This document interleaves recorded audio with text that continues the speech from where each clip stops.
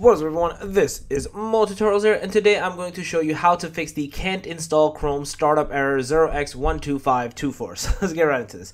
There's two ways to basically fix this, or two things that you need to do to basically fix this, but the main thing is you need to basically reinstall Google Chrome. And before you do that, what you need to do is open up a folder in your Windows device, go into local disk C, go into program files 86 and in here find the google folder and delete this. This is step one. Basically you're deleting this folder because this has like additional stuff and some cache inside of it. You want to basically delete this specific folder and then move on to the next step which is go to your search bar type in run run this thing called percentage sign local app data percentage sign press ok in here, you're going to look for, very similarly, a Google folder, as you can see over here. And same thing, you're to right click into this and delete this as well. Once you do that, go back to uh, Microsoft Edge or wherever and reinstall Chrome, whatever browser you have, right? And on your computer, and you should be good to go. So yeah, that's basically it. If you guys like the video, please thumbs up, the channel, make sure you subscribe, click that notification bell, and that, Moto's out, peace.